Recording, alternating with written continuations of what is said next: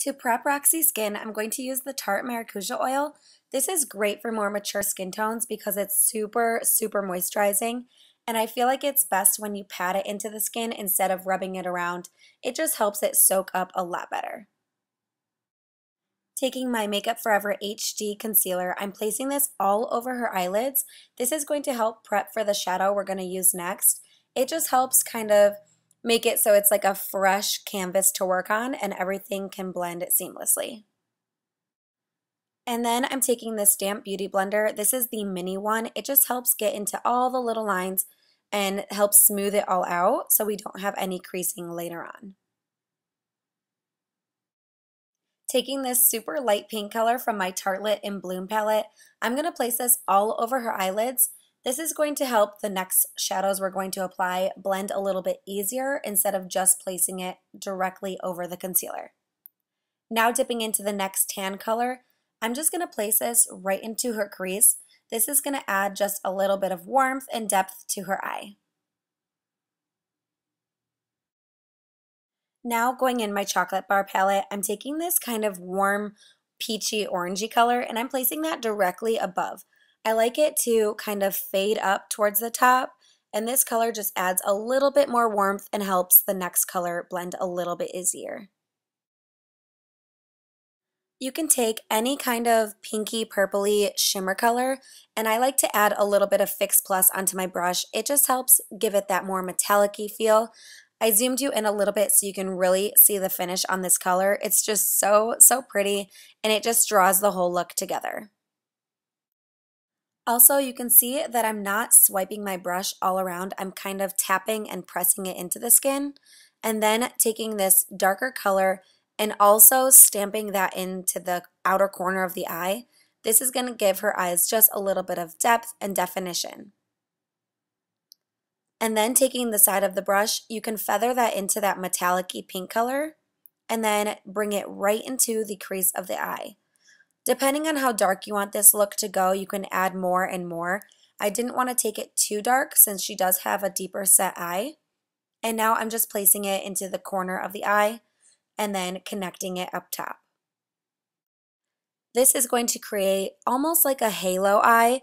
This way when she opens her eye, you're just going to see that little pop of shimmer right in the center, which just really draws you into the eye. The key to this look is just to blend, blend, blend. This way you don't have any harsh lines and it all just comes together. Now that we've applied that dark color, I'm just going back in with a more highlighting color. This is Becca Champagne Pop by Jaclyn Hill, and I'm just placing this directly on the center of the eye. I did wet my brush again with Fix Plus. As you can see, it just amps up the volume of that metallic look. Now taking any kind of soft pencil you have, just line the upper waterline and the lash line. And this is just going to make the lashes appear a little bit more full since we are going to apply false lashes. And I do like to keep it a little on the messy side just to smoke it out a little bit. We don't want anything too, too precise. This next step is optional, but sometimes I like to go in with a liquid liner and just really, really tightly line that upper lash line. It helps the individual lashes I'm going to apply just kind of blend a little bit easier into the lash line. Using the YSL Shocking Mascara, I'm going to coat every individual lash, and we did curl her lashes before this. If your client is not comfortable with you curling their lashes, you can just easily ask them if they would like to do it. And this way, it just gives the individual lashes I'm going to apply right now a more seamless look. And this way, you don't have to add too much mascara at the very end. Now, once I get the glue tacky enough, I'm going to place each individual lash right on top of her natural lashes, leaving just a small space in between for a more natural look. For a primer, I'm using the Jane Iredale Smooth Affair, and I'm just placing this all over her face so we have a nice clean canvas to work on. Today I'm using the Dior Forever Foundation. I really love this stuff, and I just started using it not too long ago, but I feel like it kind of gives that light, airy, skin-like texture to the face, and I just love how it comes out. You can use whatever type of brush or sponge you're more comfortable with.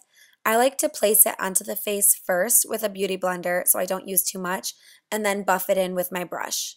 And you can see I'm just quickly getting it all over and then I'll be going back in with my beauty blender just to kind of blend it a little bit more and remove any excess product.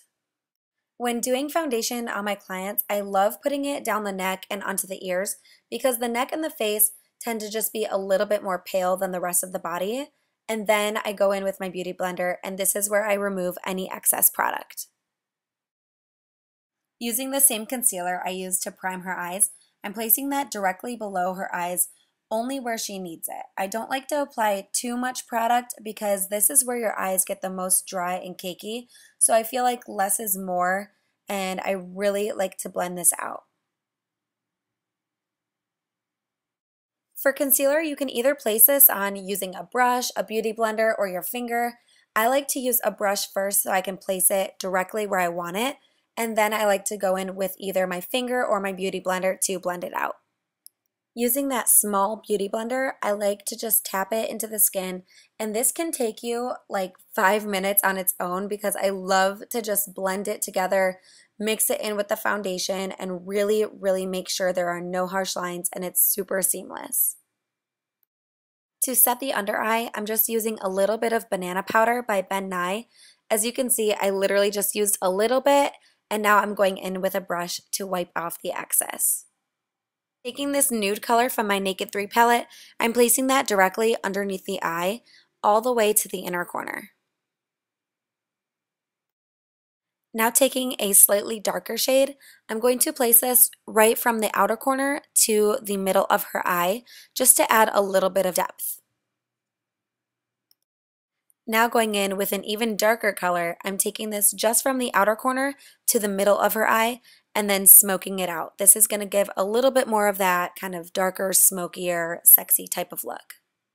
And now it's time to shape the face. Eyebrows are so important and I feel like a lot of people tend to overdo them nowadays. All you really need to do is just fill in where they're missing and give it a slightly kind of more defined look. This will help it all come together. Now going in with bronzer, I'm just patting this all over her face and I do like to pat before I swipe around. This way I really set in the product right where I want it.